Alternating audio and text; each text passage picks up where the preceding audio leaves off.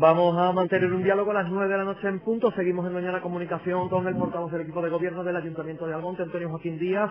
Bueno, con una noticia que deben conocer sobre todo los residentes en Matalascañas, ¿es cierto?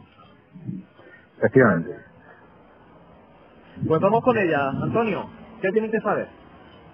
Bien, la última hora en este caso es que se acaba de abrir, ha quedado habilitada al tráfico la carretera A483 en dirección, solamente en dirección salida, es decir, solo desde Matalascaña hacia el monte.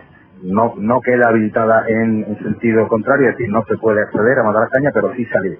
¿eh? Queda, queda habilitado el tráfico y es importante que, bueno, que todo- todas aquellas personas que se encuentren en la zona y deseen, pues, evidentemente, bueno, pues, abandonar la playa, pues, pues sepan, sepan que pueden hacerlo. ¿Es abierto ya? Está abierto ya. Muy bien. Bueno, mm, una mm, breve información. El consejero acaba de hablar de, de dos focos de incendio. Precisamente se ha expresado en términos, bueno, pues eh, tranquilizadores con relación a Matalascañas. Hay otro frente eh, que sí parece más violento. ¿Qué nos puedes detalla- detallar de, uno y otro a esa hora, a las nueve de la noche?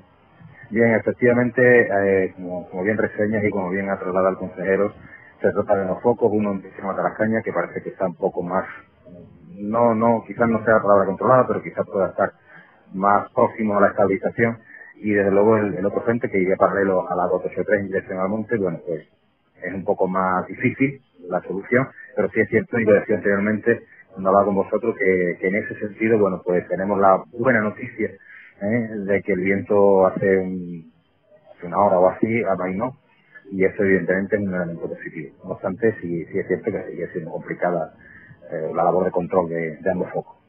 Este segundo foco, para entendernos dentro del término municipal, ¿a qué áreas afectaría en la actualidad? ¿Dónde se encontraría? Bueno, pues estamos hablando de la zona de, próxima eh, al patrimonio, es decir, el margen izquierdo de la carretera de la A483 en dirección Matalascañas al monte. Bueno, perfecto. Antonio, ¿algo más que añadir hasta ahora? De momento nada más, eh, hacer especial especial énfasis en que la, bueno, la habilitación al tráfico, y permítanme que sea repetitivo, pero evidentemente entiendo que es importante, es solo en sentido salida, ¿eh? desde Matalascañas hacia el monte.